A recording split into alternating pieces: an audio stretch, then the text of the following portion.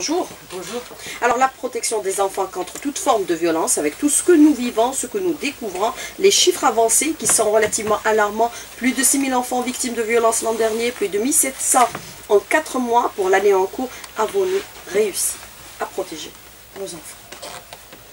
Euh, concernant la protection, c'est l'affaire de tout le monde, donc de toute la société, de tous les euh, intervenants du terrain, apparemment les euh, départements ministériels, il y a aussi maintenant l'implication de la société civile, mais concernant la DGSN, donc on est les premiers peut-être à réfléchir à poser une pierre importante à l'édifice de la protection de l'enfance, en adoptant la création des, brigades de protection de l'enfance. On, est parti avec 15 brigades, actuellement on, a 50 brigades à l'échelle nationale. Euh, seul Alger a, trois brigades, euh, donc euh, vu la spécificité de, la capitale, donc on, a trois brigades seulement pour Alger. Donc on est les premiers à concilier l'édifice de la protection de l'enfance en Algérie. Mais avons-nous pour autant réussi à protéger nos enfants ou alors on tend à l'être aujourd'hui? On aspire à l'être on essaye de, protéger, il y a une, protection, mais il reste beaucoup à faire euh, pour euh, vraiment euh, avoir tolérance zéro pour la violence à l'égard des enfants. Mais comment vous organisez au niveau de la DGSN Est-ce que vous avez les moyens nécessaires et les équipes nécessaires? Est-ce que vous procédez par des équipes de mineurs? Au niveau de toutes les localités Vous appuyez sur la dénonciation, les vidéos choquantes qui circulent actuellement sur la toile. Comment vous faites? Donc euh, le travail quotidien consiste bien sûr euh, à recevoir, à recevoir les, plaintes, euh, auprès des brigades de la protection de l'enfance qui se trouvent à l'échelle nationale. Il y a aussi le signalement euh, de par peut-être les voisins, par, par quand il y a une violence ou la maltraitance découverte au niveau des, établissements scolaires. Donc il y a, des, éducateurs, il y a des directeurs d'établissements scolaires qui se présentent pour dénoncer. Donc il y a beaucoup de, procédures de dénonciation quand il s'agit de, mineurs maltraités ou violentés physiquement ou sexuellement. Alors le kidnapping des enfants, c'est un phénomène qui est en hausse ou en baisse si on se réfère à 2013 où plus de 150 euh, enfants avaient été enlevés dans les deux enfants de Constantine dont on se rappelle tous aujourd'hui et qui ont été malheureusement assassinés par la suite. Bien sûr. Donc je préfère parler de disparition. Et disparition peut-être à caractère inquiétant quand il s'agit d'enfants de, à bas âge. Mais euh, peut-être j'ai toujours dit, c'est l'enquête qui est habilitée à, déterminer s'il y a enlèvement ou pas. Mais généralement, il y a beaucoup de disparitions, et euh, généralement, c'est des fugues, donc euh, dû à l'échec scolaire. Et on assiste toujours, euh, quand il y a le, les résultats scolaires du premier trimestre ou deuxième trimestre, et on, est au port du troisième trimestre, donc on va assister à des fugues qui, malheureusement, formulent un scénario d'enlèvement, malheureusement. Mais il y a, pour parler d'enlèvement, il y a l'enquête seule qui peut déterminer euh, s'il y a un enlèvement ou pas. Est-ce que les chiffres sont en hausse ou à la baisse? Est-ce que vous avez des indicateurs chiffrés, Madame Bien sûr, bien sûr. Euh, Pour 2014, peut-être vous avez annoncé le, chiffre d'un chiffre de 2013, euh, le, chiffre des enfants victimes d'enlèvement et dont les services de police ont intervenu et récupéré ces enfants sains et saufs, on a enregistré 195. Pour les quatre premiers mois 2015, on a enregistré 25 cas, 25 cas d'enlèvement, c'est-à-dire des résultats réussis par les services de police et on a permis de, réinsérer ces enfants à leur famille sains et saufs. Vous les avez récupérés? Bien sûr. Vivants? Donc, oui, bien sûr, vivants. Mais généralement, euh, peut-être le mobile de ces, ces enlèvements, généralement, c'est l'agression sexuelle. Mais pour euh, les enfants de, Constantine, malheureusement, euh, parce qu'il y, a le, lien familier des enfants avec l'auteur, généralement, quand, l'enfant euh, reconnaît son agresseur, son prédateur, et, elle est vite peut-être abusée et assassinée malheureusement. Mais les enfants que vous avez pu récupérer et, rendre à leur famille, est-ce qu'ils ont subi aussi des sévices ou pas du tout? Non, c'est des tentatives, des tentatives d'agression sexuelle. Mais on a intervenu à temps pour les récupérer 500. Donc selon vous, par rapport aux indicateurs que vous annoncez, ce sont des chiffres qui sont à la baisse. À la baisse. Pour les enlèvements, on sont à la baisse. Pour cette année Pour les quatre premiers mois de l'année Cette année, oui. Alors, l'alerte kidnapping mise en place aujourd'hui, est-elle suffisamment efficace comme cela se fait dans tous les pays du monde? Est-ce que vous avez le support des médias également pour lancer l'alerte ou alors ça reste interne à la DGSN Non, bien sûr, c'est une, une stratégie qui s'inscrit dans, la stratégie euh, du gouvernement. Donc, on n'est pas les seuls concernés pour cette alerte. Donc il y a pas mal de, secteurs qui sont concernés, notamment euh, qui le premier habilité c'est la, justice, donc c'est le procureur de la République qui est chargé de cette alerte. Mais, c'est-à-dire, et au début de, on est au début de cette procédure et on, espère, c'est-à-dire, aller à l'avant pour instaurer cette euh, mesure qui est l'alerte euh, climatique. Comme cela se fait dans tous les pays du monde, à travers le monde, où même les médias sont à part, Bien sûr. Euh, et, les, les, médias, il y a beaucoup de secteurs peut-être qui sont peut-être mal, qui sont inconnus, peut-être c'est le, transport, le, les postes télécommunications. Il y a pas mal de départements ministériels qui doivent être impliqués pour, pour cette procédure d'alerte kidnapping mais qui est aussi encore jusque-là, malheureusement, un, peu, défaillante. Euh, mais euh, ce qui est relevé aujourd'hui, c'est qu'au niveau de nos postes de police, quand il y a un phénomène de kidnapping ou disparition d'un enfant, il faut attendre pas moins de 48 heures pour lancer parfois l'alerte. 48 heures, c'est énorme. Ça, dépend de l'âge de, l'enfant aussi. Euh, donc, je, parle tout à l'heure de, de, la disparition à caractère inquiétant. Quand il s'agit d'un enfant à bas âge, à partir de, 6 ans jusqu'à 10 ans c'est inquiétant. Mais euh, généralement 16 ans, 18 ans, généralement c'est euh, des enfants, bah, peut-être euh, il disparaît le matin ou l'après-midi il va revenir chez lui. C'est pour ça on patiente pour, pour donner l'alerte généralement 16 à 18 ans. Mais quand il s'agit de disparition à caractère inquiétant, et l'intervention est immédiate. C'est-à-dire, comment vous fixez euh, C'est-à-dire, c'est le critère de l'âge dont vous tenez l'âge, en considération L'état de santé de l'enfant, le, les, premières informations euh, de l'entourage familier, de l'entourage de, l'établissement scolaire. Il y a toute, toute une procédure concernant pour, euh, pour euh, situer euh, la gravité de cette disparition. Alors justement, par rapport à la question de la violence, la violence, on a donné quelques indicateurs, vous allez aussi nous donner quelques chiffres dans un tout petit moment, mais il se trouve que parfois, il y a une violence qui est exercée en milieu familial, elle est silencieuse et vicieuse. Comment la dénoncer? Comment la détecter aujourd'hui? Généralement, les, agressions, notamment sexuelles en milieu familial, on les découvre suite à une fugue, soit suite à une hospitalisation, suite à une dénonciation euh, euh, généralement dans, en milieu scolaire. Donc ces violences, ils sont découverts malheureusement. Mais c'est rare, oui, il y a les parents qui, un des parents qui, qui se présente pour dénoncer l'acte de la vie sexuelle. Vous avez déclaré que les violences sexuelles faites aux enfants sont les plus délicates à traiter, les plus difficiles. Oui, effectivement, quand on est en face, l'enquêteur de police euh, quand il est en face d'un enfant victime de violence, et notamment violence sexuelle, c'est vraiment difficile. Donc la, plus, euh, euh, difficile enquête à être traitée, c'est quand il s'agit de violence sexuelle. C'est vraiment délicat. tant que père de famille et mère de famille, c'est vraiment délicat parce qu'on est doublement affecté par cette violence aussi. Pourquoi? Tout simplement parce qu'on sent la douleur du mineur, de l'enfant. Et, puis quand il s'agit d'une maman ou d'un père qui enquête, c'est vraiment difficile à traiter de ces affaires. Vraiment difficile. Mais taire ce type euh, euh, d'affaires, c'est être complice quelque part aussi. Bien sûr. Ça peut, si une mère est au courant et c'est elle tait ces affaires-là, elle est incriminée au même titre du père parce qu'elle n'a pas dénoncé. Malheureusement, quand il s'agit justement. Beaucoup de, cas se sont produits euh, justement, quand il s'agit d'enquête d'actes de, relations incestueuses généralement, on découvre euh, par rapport à une grossesse compliquée au niveau des hôpitaux, euh, généralement aussi euh, par rapport à des fugues, qu'on découvre les cas d'inceste. Alors, combien de cas avez-vous traité aujourd'hui? Pour, on revient aux indicateurs chiffrés, Madame Pour, pour 2000, les derniers chiffres qu'on a enregistrés concernant les violences, toute forme de violence à l'échelle nationale, on a enregistré 1726 cas. les violences physiques en, première position avec 996 cas. Donc il y a plus de aussi, euh, euh, actuellement une violence aussi euh, physique aussi dans la société, notamment à l'encontre des enfants. Il y a l'agression sexuelle qui est de l'ordre de 517 enfants, dont 305 filles. Il y a le mauvais traitement aussi, le 179. les enlèvements, j'ai parlé tout à l'heure, j'ai donné le chiffre 25. Il y a aussi malheureusement, on a traité trois cas de violence de domicile volontaire des enfants qui ont été victimes de réussite volontaire. Généralement, cette année, on a enregistré le cas d'infanticide, où il y a une maman qui a tué ses enfants. Donc, euh, Mais euh, est-ce qu'il y a, par rapport à ces indicateurs chiffrés que vous nous donnez ce matin, il y a eu des cas de décès, malheureusement, des violences euh, physiques suivies de mort? Oui, oui. on a enregistré six cas de violences ayant entraîné la mort.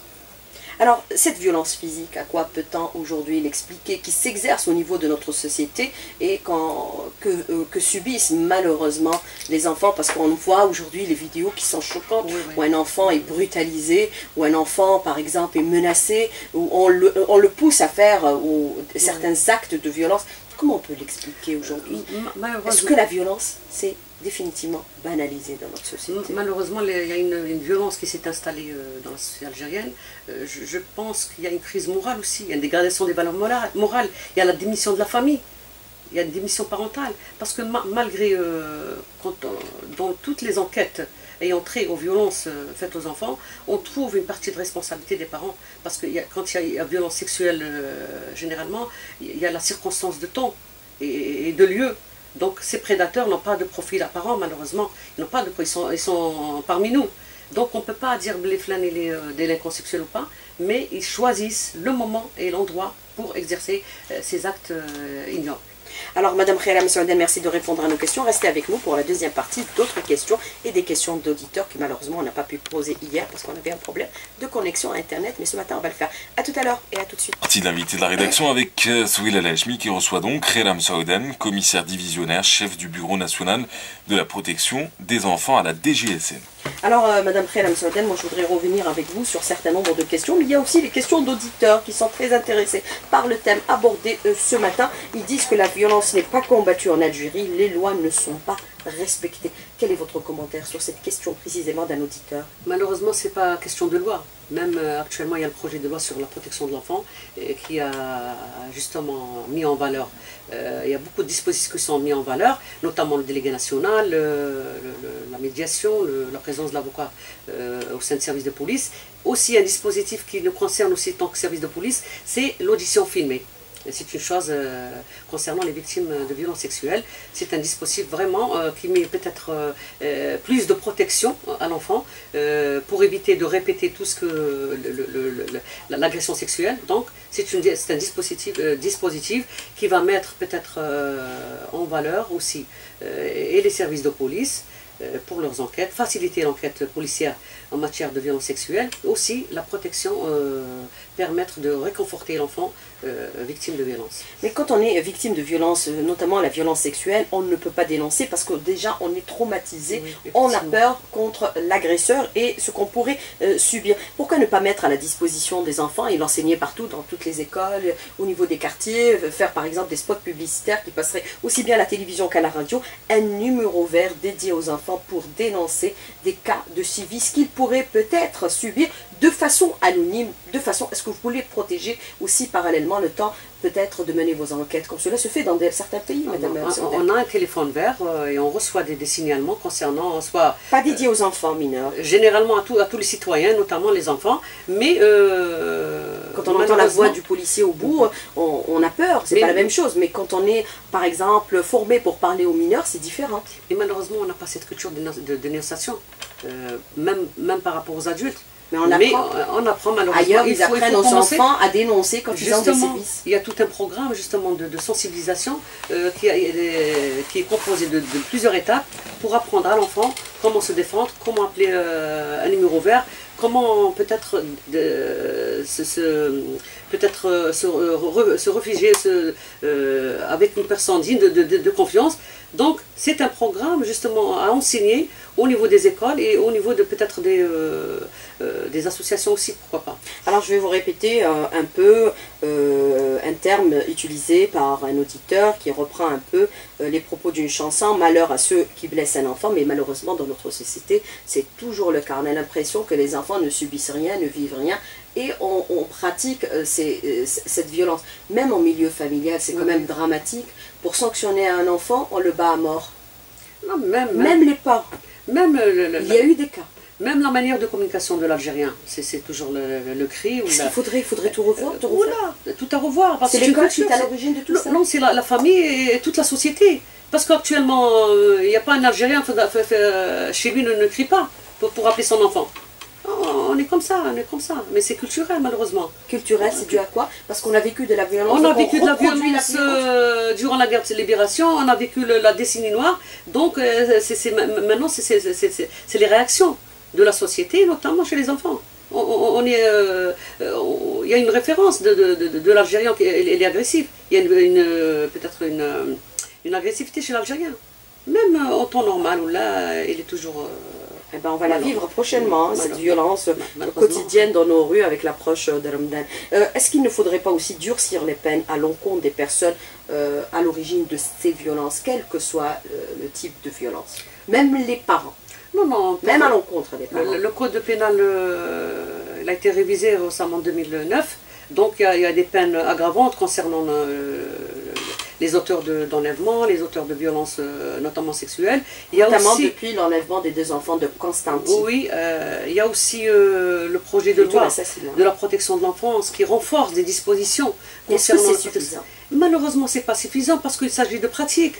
C'est des pratiques, c'est des comportements on a problème de comportement. Parce que c'est quoi le, On a problème de comportement des personnes, des parents, des, enseignants il y a tout un tout, donc il faut donc euh, conjuguer les efforts et de, euh, la famille, généralement il faut apprendre aussi. Pourquoi, ne pas donner peut-être euh, des cours aux parents? Pourquoi pas? Dans, l'éducation des enfants, pourquoi pas? Donc c'est l'affaire de tout le monde, l'affaire de la société, de tout, le monde, donc pour avoir une, famille saine et des enfants sains. Mais pour endiguer cette violence, que faut-il aujourd'hui concrètement des actions? Vous qui connaissez trop bien euh, ce phénomène, vous le pratiquez, vous le suivez depuis pratiquement toute votre carrière, 30 ans aujourd'hui, que faut-il? Vous êtes présent au, niveau de, présente au niveau de tous les forums, de toutes les discussions qui concernent la violence à l'égard des enfants. Que faut-il au bout de 30 ans, quel est votre conseil Que faut-il Donc il faut l'implication du citoyen, il faut l'implication de la famille et de l'école. Donc il y a une passivité de, ce, qui, a encouragé peut-être, euh, ce qui a favorisé la, criminalité en général, notamment sur les enfants, c'est le silence. Donc il faut parler, il faut l'implication de tout le monde. Chacun a... Euh, à chacun, à, tout le monde, donc euh, tout le monde est impliqué de, faire quelque chose. ça ne reste de signaler, euh, il y a aussi, le, on, constate la passivité des citoyens, le, le manque de civisme. Donc tout un tout, autant de, de, s'impliquer euh, chacun à, son niveau. Alors justement, par rapport à cette question des lois qui existent et qui ne sont pas respectées, il y a eu de nouvelles dispositions réglementaires et législatives adoptées par le Parlement et présentées par les pouvoirs publics, à savoir l'interdiction d'utilisation des enfants pour la mendicité la réalité est tout autre, c'est ce que nous dit ce citoyen. Tous les jours, nous avons en face de nous des mamans et des papas qui utilisent des enfants, même des nourrissants, pour mendier. Quel est votre commentaire sur cette question? Les premiers qui sont concernés par la voie publique, c'est la DGSL, la police. Bien sûr, bien sûr, on a, on a, entamé euh, des campagnes pour euh, justement pour faire face à la mendicité des enfants. Mais malheureusement, malheureusement euh, à, défaut, à défaut des centres d'accueil et pour, pour, pour, pour, les parents et pour les enfants, donc euh, on tourne en rond, en quelque sorte. Même s'il y a présentation, on fait notre travail, on fait la présentation auprès des, services de justice, mais où mettre ces familles, où mettre ces enfants? Ils n'ont pas commis d'infraction, ils sont en danger, où les mettre? À défaut de centres d'accueil pour les enfants en danger moral. Mais est-ce qu'il n'y a pas une coordination dans le travail entre vos services et ceux, par exemple, de la solidarité nationale qui devraient, eux, mettre en place euh, ces centres d'accueil? On travaille euh, en étroite collaboration avec euh, tous les ministères. on fait partie de, commissions interministérielles avec ces... mais le, terrain peut-être et la réalité c'est autre chose. Il n'y a pas de centre qui accueille et les, et, les familles et les enfants. Alors, la première violence commence parfois à l'école par rapport au châtiment corporel exercé à l'égard de certains enfants. Est-ce que vous considérez aussi que c'est un débordement, que c'est interdit de frapper un enfant et ça continue à l'être? Euh, malheureusement, la violence qui, euh, qui, est vécue dans la société s'est propagée euh, à l'école algérienne. Actuellement, on, vit cette violence. Vous recevez des cas Oui. Il y, a violence entre, entre élèves, il y a violence entre élèves et enseignants, entre enseignants et directeurs. Donc il y a, tout, il y a toute forme de violence à l'école. Il y a la, violence verbale et la violence, euh, plus euh, il, y a, beaucoup de violence physique. Alors cet auditeur, il est carrément extrémiste. Il propose l'installation d'un représentant de la DGSN dans chaque établissement euh, scolaire à côté du surveillant général pour protéger nos enfants à l'école en même temps. Euh, c'est une expérience qui aurait euh, apporté ses fruits au niveau euh, des États-Unis. Est-ce qu'on peut faire ça? Est-ce qu'on en a les moyens Il y a- il y a de chose. mettre chaque, dans chaque Il y a une école chose, de la DGSN Ils disent que le madrasa la horma, donc l'école c'est sacré, on ne peut intervenir que sur la demande du directeur de l'établissement. Mais est-ce qu'on en a les moyens de mettre un agent de la DGSN dans chaque établissement scolaire? Lui, il est catégorique. hein. Non, non, c'est sacré quand même. Mettre un policier, c'est faire peur aux enfants aussi. Si on n'est pas, on n'est pas quand même euh, euh, rassuré euh, à l'école, on ne trouve pas quand même. L'école est censée de protéger l'enfant justement. Alors, est-ce qu'il ne faudrait pas aussi, euh, parallèlement, nous sommes une société euh, qui ne pardonne pas, il n'omet aucun détail, notre religion nous l'interdit aujourd'hui, est-ce qu'il ne faudrait pas peut-être aussi procéder, par exemple, par des prêches au niveau des mosquées pour sensibiliser la société contre ce phénomène qui prend aujourd'hui de l'ampleur? Parce qu'un enfant d'aujourd'hui, c'est l'homme de demain, et s'il est déstabilisé dès son jeune âge, vous avez ca- carrément quelqu'un de qui, sera déstabilisé aussi psychologiquement dans euh, sa vie d'adulte. Oui, euh, j'ai parlé tout à l'heure de, l'implication de tout le monde, de toute la société, notamment le, le rôle de la mosquée, c'est il est important. Donc autant impliquer les, imams, les, prêches des, vendredis ou avec euh, les émissions qui passent à la télé, de faire peut-être appel euh, aux familles, surtout aux familles, parce qu'il y a une démission parentale, malheureusement. Il y a une démission, on constate une démission parentale. Mais Le elle est due à quoi cette démission parentale? Peut-être... Au euh, pouvoir j'ai- d'achat, au mode de vie, à la... peut-être mode de vie, pauvreté. euh, le- l'imitation qu'a connue le- la société algérienne, et puis euh, il y, a- y y une dégradation morale, des valeurs morales. On n'a plus le- les pères d'aujourd'hui, donc euh, on n'a plus les pères d'hier ou les mamans d'hier ou la, la grande famille. Avant c'était la grand-mère ou le grand-père qui. euh, les oncles, tout le les monde. oncles, la grande famille. Maintenant c'est la petite famille, donc chacun soi. Est-ce qu'il ne faudrait pas durcir les peines à l'encontre des personnes à l'origine de ces violences? Aller carrément à la, à la peine de mort, Madame Snowden C'est une question le, d'une le code, le code pénal, il est, il raison, il hein. il il clair et précis, donc euh, tout, tout, tout auteur euh, qui, qui violente un enfant, il, a sa peine et c'est le juge seul qui est habilité à euh, déterminer cette peine. Alors pour la cybercriminalité, quelles sont les actions que vous engagez aujourd'hui? Parce que nous savons, nous voyons tous les jours des enfants avec des petits smartphones, des tablettes face Oui, au oui, micro. oui. Est-ce qu'il faut aussi le contrôle parental? Donc, tout à- Obligatoire. Oui, tout à l'heure, on a parlé de, de- peut-être j'ai donné les chiffres de, de la criminalité ordinaire, mais actuellement, on est en fa- en face de la, la nouvelle euh, forme de criminalité qui est la, la- la criminalité, euh, la cybercriminalité. Donc, on a, euh, la DGSN a adopté des unités spéciales à travers le, le territoire national qui luttent contre cette forme de violence, notamment euh, la violence euh, qui met en scène euh, les enfants violentés sexuellement ou mauvais traitement. Donc, Mais il y a d'autres phénomènes auxquels pourraient s'exposer aussi les enfants. Le recrutement des, des mineurs par des réseaux intégristes, islamistes, terroristes, comme cela se fait dans d'autres pays que nous voyons au quotidien. Est-ce qu'il y a une véritable, un véritable arsenal qui est mis en place pour protéger nos enfants Est-ce que tout ce qu'il y a sur Internet est aujourd'hui contrôlé Tout est exploité, Pour les mineurs? Tout, tout est euh, étudié, donc on a des unités spécialisées de lutte contre cette cybercriminalité, toute forme de criminalité, notamment euh, à l'encontre des enfants, et la pornographie infantile, et le, le mauvais traitement, et euh, bien sûr tout ce qui est subversion euh, terroriste. Alors justement, euh, par rapport à cette question euh, de pornographie, est-ce que nous avons aussi des équipes spécialisées dans ce domaine-là? Parce qu'il y a eu des, malheureusement des photos de mineurs qui ont Oui. été publiées sur le net qui, euh, qui n'étaient pas On- on a dans traité- les conditions les plus commodes. Bien sûr, on a traité de ces cas, ils ont été présentés par, devant le- les services de la justice. Alors nous sommes face aussi à d'autres phénomènes de violence qui s'exercent aussi parfois euh, sur les jeunes femmes, par exemple quand elles sont à la plage, quand elles, par exemple sur le net, elles s'exposent de façon euh, inconsciente, peut-être qu'elles essayent de se dénuder et elles sont par la suite, euh, c'est-à-dire menacées de divulgation de ces vidéos et bien sûr on les pousse à faire des choses. Est-ce que on peut dénoncer ce type d'acte aujourd'hui? Qui existe Bien sûr, qui est un système vicieux qui, qui circule au niveau, par exemple, des lycées, et dont les jeunes filles ont honte d'en parler ou peur d'en parler. Non, non, au contraire. euh, les derniers temps, on reçoit beaucoup de, de personnes, notamment des femmes, qui dénoncent cette- ces pratiques et ont- ils sont prises en charge. Donc, on a toute une unité spécialisée à Alger qui traite de ces affaires. Donc, euh, Alger seulement? Non, non, je parle d'Alger, je, je, Ah, je, je- je travaille à Alger, donc je, je témoigne. Il y a beaucoup de femmes, il y a beaucoup de jeunes filles qui se présentent, même des, des, des- des jeunes enfants qui se présentent, qui sont victimes de ces, ces pratiques, euh, bien sûr, euh, par le biais d'Internet. Est-ce que vous appuyez aussi sur l'apport de la société civile? Bien sûr. Donc, Énormément. on, on travaille en partenariat avec les sociétés civiles. Euh, récemment, on a travaillé avec l'UNICEF.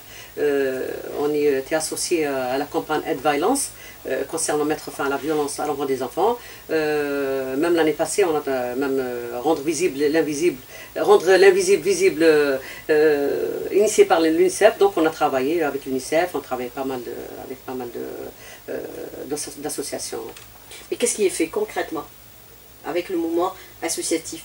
Des actions qui sont engagées, travailler avec leurs sociologues, leurs psychologues. Généralement, ces actions, surtout, euh, ils sont axés sur la, sensibilisation. Euh, en outre de- des campagnes de sensibilisation initiées par la DGSN, euh, que périodiquement à, travers le territoire national, il y a des campagnes qui se font même dans les écoles. Donc, quand il y a une demande de la part d'un directeur d'établissement, on, peut, on peut donner des, conférences, sensibiliser les enfants sur tous les dangers, les fléaux sociaux, notamment euh, en ce qui concerne les abus sexuels. Pour le secteur, par exemple, de la formation professionnelle, il y a beaucoup de mineurs. Pour celui de l'école, l'éducation nationale, pour ce qui concerne aussi au niveau de la DAS par rapport à la solidarité, est-ce que vous travaillez aussi conjointement avec ces différents euh, secteurs ministériels? On fait partie de toutes les commissions, euh, c'est-à-dire euh, initiées par les, les ministères, notamment la Solidarité nationale, le ministère de la Justice, et même on était même associé à l'enrichissement du projet de loi de- sur, la, sur la protection de l'enfant. Mais est-ce que vous considérez que les dispositions qui ont été adoptées sont bonnes aujourd'hui pour protéger nos enfants apparemment, il y a des dispositifs, euh, comme le délégué national de protection de l'enfance, on attend beaucoup de choses de, de, ce, de ce délégué. Euh, C'est le même principe qu'un conservatoire pour l'enfant qui était non, non, revendiqué aussi non, par moment. Apparemment, Il ne suffit pas d'adopter les lois, comme le dit Non, une apparemment, auditrice, il, il faudrait les appliquer con- sur le terrain et concrètement pour être efficace. Apparemment, il y a des ramifications au niveau du UAIA qui, qui sont les CO COIMO. Ils vont être réhabilités pour faire ce travail. Il y a aussi, euh, le, apparemment, pour les services de police, on est concerné par l'audition filmée. Euh, on cherche un cadre légal pour cette, cette pratique. Ça va aider les enquêteurs pour faciliter l'enquête et, et réconforter peut-être l'enfant pour ne pas répéter ce qui lui est arrivé, surtout quand il s'agit de violences sexuelles.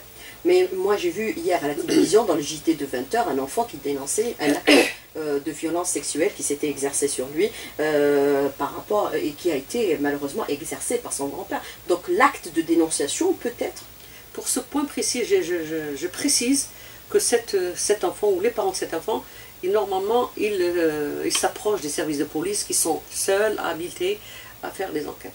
Ce n'est pas la société civile qui traite ces affaires parce que c'est pénal. Donc, euh, cet enfant, cet- le, le père de cet enfant, euh, soit il s'approche de monsieur le procureur de la République ou bien des services de police pour déposer plainte.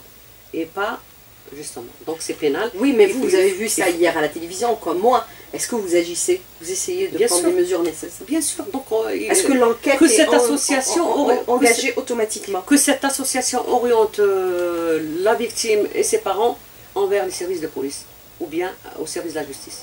Mais est-ce qu'on peut considérer que cette violence est la même que celle qui est exercée à l'égard des femmes aussi, malheureusement? Oui, c'est un autre, c'est un autre volet, hein. C'est un autre volet aussi, hein. Euh, C'est un autre volet aussi. Il y a une violence aussi qui est euh, caractérisée, euh, elle est importante aussi. Parce que les femmes euh, commencent à dénoncer euh, euh, par rapport à la sensibilisation. Quand elles ont le courage de le faire aussi. Non, non, euh, il y a une prise de conscience quand même. Il y a une prise de conscience. Qui est exercée souvent par l'époux ou la famille. Oui, Direct. Il y a plus de violence exercée dans la famille qu'à l'extérieur. Elle est exercée à tous les niveaux, À hein, à l'égard des femmes, hein, de toute Ouais. façon, dans notre société. Est-ce que vous considérez aujourd'hui que ce phénomène de la, soci- de, de, de, de- de la violence hein, devrait être pris sérieusement en charge par nos Bien sûr, bien il y a un risque de dérapage quand même de, de- de la sécurité publique. Il faut prendre conscience, donc il faut l'implication de tout le monde, parce que c'est quand même c'est important. Euh, La violence, c'est quoi? C'est quoi la violence? C'est une, c'est une infraction à l'intégrité humaine quand même. Euh, Il faut, il, faut, il faut réagir à tous les niveaux, à tous les niveaux. De la Pour de- dénoncer, pour agir. dénoncer, pour ré- réagir, pour dénoncer, ça pour dénoncer, pour signaler quand même. Avant le- les gens de- de- des années 70, quand il, y a, quand il y a violence, ils interviennent sur place et arrêter l'auteur de, de, la violence. Malheureusement, on a perdu les- nos, nos, nos, nos- anciennes valeurs et ça se dégrade.